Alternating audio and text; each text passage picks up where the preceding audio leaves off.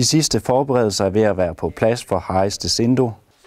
Nedtællingen er i gang, og snart forlader han sin familie og bokseklubben BK Nørremarken for at blive prof i England. Da jeg flyttede fra Boston så til Danmark, der, der var det meget simpelt, for der var vi små.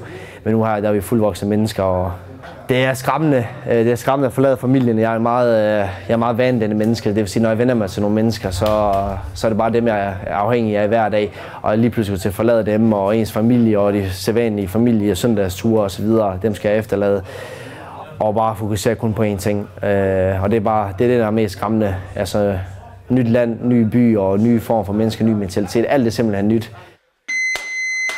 Skiftet vil også være en stor udfordring i ringen.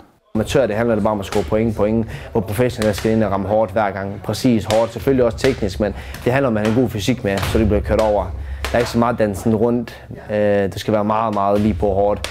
Især i britisk boksning, fordi at gutterne er meget hårde, ligesom Premier League og fodbold. Deres liga er meget hård, sådan er de også i boksning. Uden for ringen bliver der ikke tid til at nyde det engelske natliv. Øh, som øh, amatørbokser kunne du godt tillade dig lidt flere ting. Det vil sige, at jeg har prøvet mange ting, øh, før jeg skulle op i ringen. Det vil sige, jeg, kunne, jeg var i byen fredag aften, og så skulle bokse lørdag aften. Det kan man ikke som professionel. Din træningsmåde er helt anderledes. Du har en, øh, du har en kostplan, du skal følge. Din øh, måde at tænke på er helt anderledes. Handskerne er mindre, og der er ingen hjelm, og et slag kan afgøre hele kampen. Det vil sige, at du kan træne en måned op til en kamp, to måneder op til en kamp, og så afgøre det på, på 10 sekunder, hvis det er. Heis de Sindo har stillet store krav til sin nye arbejdsgiver, Tandy Boxing. Alt for mange bokser er endt på bunden i den britiske bokseverden.